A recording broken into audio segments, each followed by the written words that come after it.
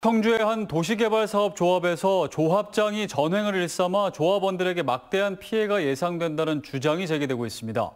조합 청산을 해야 하는데 계속 시간을 끌면서 조합장과 일부 조합원들이 부당 이익을 취하고 있다는 겁니다.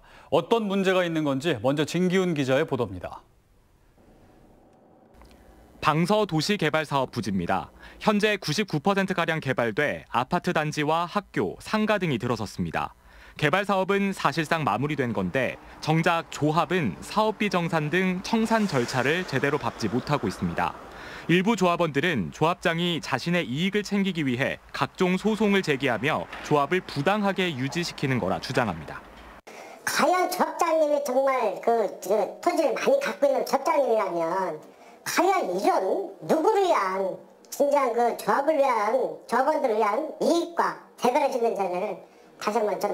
여기에 최근 조합은 아파트 시공사 중 한 곳인 중흥건설 측과 소송을 진행 중인데 패소할 경우 370억 원이 넘는 보상비를 조합원들이 떠안아야 할 판입니다. 2015년 조합은 중흥건설 측에 17필지를 매각했습니다. 급한 사업비부터 해결하고 법적 절차는 나중에 밟자는 거였는데 현 조합장이 돌연 당시 매매 계약에 문제가 있었다며 땅을 돌려달라는 소송을 내 1심에서 승소한 겁니다. 이에 중흥건설 측은 땅을 돌려주게 됐으니 땅값 명분으로 지급한 사업비 370억여 원을 돌려달라며 조합에 맞소송을 제기한 겁니다.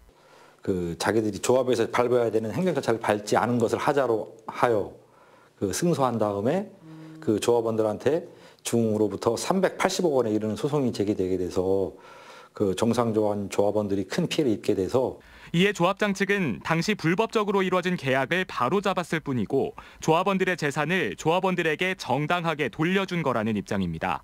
이렇게 시간을 끄는 사이 조합장을 비롯한 일부 조합원에게 지급되는 월급은 매달 3천여만 원. 현재 비상대책위를 중심으로 한 일부 조합원들은 조합장을 상대로 소송을 계획하고 있습니다. CJB 뉴스 진기훈입니다.